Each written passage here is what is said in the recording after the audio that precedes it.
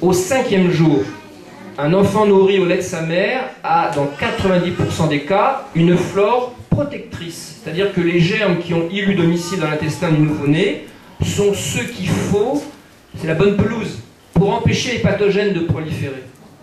Dans le cas d'un enfant nourri au lait de, vache, amélioré, hein, le lait pour bébé, il a plein de défauts, mais il faut quand même remettre les choses dans, dans une certaine euh, cohérence les laits d'aujourd'hui sont quand même meilleurs que ceux qu'il y a 20 ans. Moi, j'ai vu disparaître des pathologies du nouveau-né parce que les laits se sont améliorés. Donc, il ne faut pas diaboliser les laits de.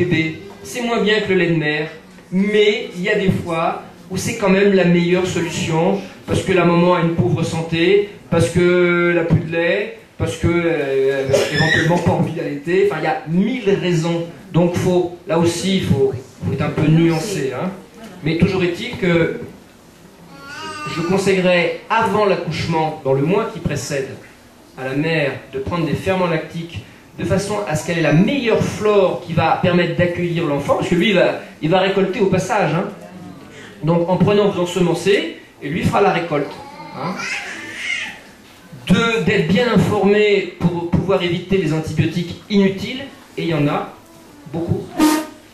Et au cas où ça surviendrait, et au cas où vous accouchez par césarienne et que vous n'allaitez pas, eh bien, il y a deux choses à faire. Les ferments lactiques, d'une part, et deuxièmement, une visite chez l'ostéopathe. Car le fait de naître dans, la filière génitale, comme on dit, c'est-à-dire d'avoir ce, ce, massage du crâne le long de la descente, fait une sorte d'amorçage de, la pompe, entre guillemets. Hein. Euh, et un bon, un bon ostéo va pouvoir corriger euh, certains petits dysfonctionnements, qui ne sont pas catastrophiques, mais qui vont permettre à l'enfant de, mieux fonctionner, d'être une meilleure harmonie. Il y a une question qui m'était posée, euh, que doit-on faire en cas de plagiocéphalie? La plagiocéphalie, c'est le syndrome de la tête plate. Vous avez des gamins qui naissent, alors en général c'est d'un côté, droite ou gauche, avec la tête toute plate. Et quand on regarde euh, leur tête,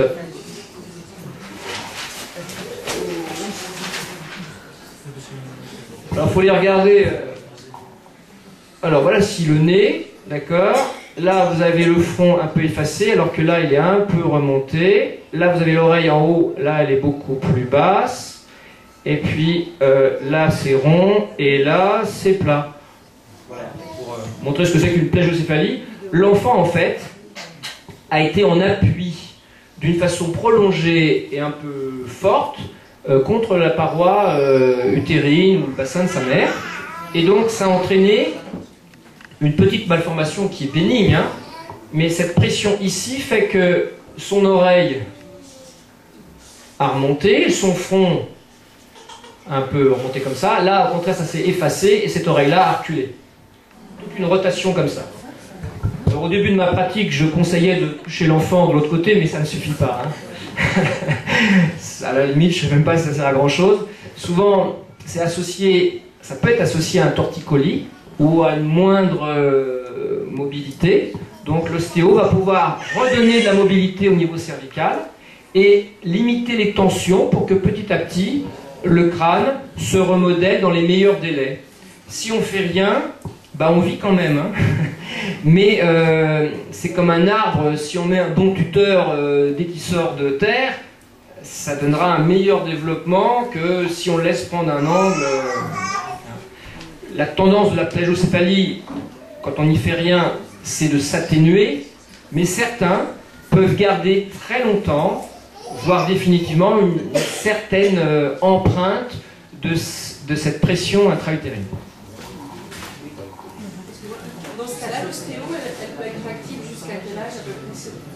Bah, euh, L'idéal, hein, toujours pareil, l'idéal, ça serait une visite dans le premier mois. On peut encore... Les visites importantes chez l'ostéo, c'est avant un an, euh, lorsque l'enfant marche, avant la puberté. Mais évidemment, plus on attend et on ne corrigera pas les mêmes choses. Hein. Par exemple, moi je vois beaucoup de scoliose ou d'attitude scoliotique. Euh, un bon ostéo qui agit avant 9 ans va pouvoir euh, quasiment rattraper le coup. Euh, si c'est en pleine puberté, on limitera la casse. Donc il est toujours le temps de faire quelque chose, mais plus on agit tôt, meilleur sera le résultat. Est-ce que ça peut jouer sur l'intellect La plagocéphalie Non. Ça, je serais incapable de vous dire qu'est-ce que ça entraîne exactement, parce que c'est pas neutre, mais c'est pas non plus quelque chose de rédhibitoire. hein. Quand même sur les afférences sensorielles, moi je trouve que c'est un enfant qui est comme ça, il va du coup pouvoir qu'une seule, qu'une seule de ses mains par exemple.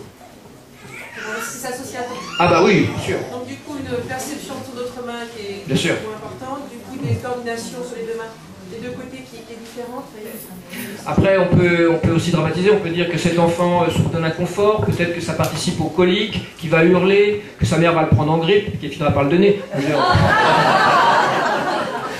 veux dire, on peut toujours, hein. Non mais il y a quelques petites choses, je trouve ça intéressant, il y a des choses toutes simples à faire.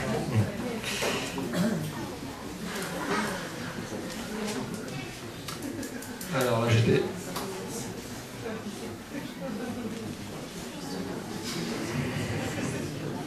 Bon, conditions d'accouchement. Alors, le contexte affectif. Moi, j'aime beaucoup, en tant que pédiatre, la première consultation. Que d'ailleurs, je demande aux gens de venir à 15 jours et non pas à un mois. Cette première consultation, elle est capitale. Parce que souvent, les parents sont en difficulté. Ils ont plein de questions. Euh, et c'est là où il faut leur expliquer qu'un bébé, c'est une éponge émotionnelle, c'est une éponge sensorielle qui absorbe tout ce qui est autour d'elle. Et que la maman donne le là, c'est un petit peu le diapason. C'est elle qui initie la vibration, qui n'est pas qu'une image, hein, je pense qu'il y a une vibration. Et cet enfant va vibrer à la fréquence maternelle. Si maman est sur Radio Nostalgie, l'enfant va, va chanter toute la journée. Si elle est sur Radio Stress, euh, les terroristes nous attaquent, eh bien l'enfant va hurler toute la journée.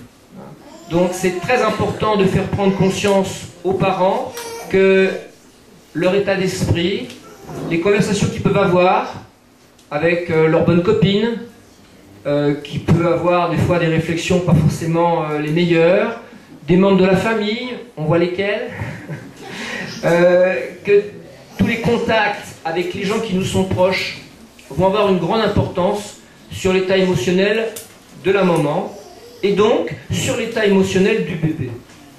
Et c'est une ré- répercussion en chaîne. Si la maman doute de ses capacités maternelles, si elle n'est pas soutenue par son environnement familial, si de plus elle est isolée, ce qui arrive quand même très fréquemment dans la société euh, actuelle, eh bien, elle va être seule avec son désespoir, avec ce bébé euh, hurlant, euh, et ça va être vraiment une très grosse épreuve. hein. Euh, bon, nous, on a expérimenté, puisque notre, petite dernière, que vous avez vue là, euh, est venue dans, dans un contexte euh, très lourd. C'est-à-dire que chez nous, c'était un peu Beyrouth, aux meilleures heures, c'est-à-dire ça tombait tout le temps, des gros, des gros obus, vous voyez, du gros calibre, dans l'année qui a précédé sa venue, pendant et après. Donc c'est une enfant qui, à travers ses parents, va absorber toutes les difficultés que nous avons eues à surmonter euh, le déluge. Et donc c'est une enfant qui a... les- autres font des coliques pendant 1 à 3 mois, elle ça a duré 5. Elle est née avec un eczéma, un érythème fessier qui saignait pendant un mois, une mycose, un reflux, des coliques.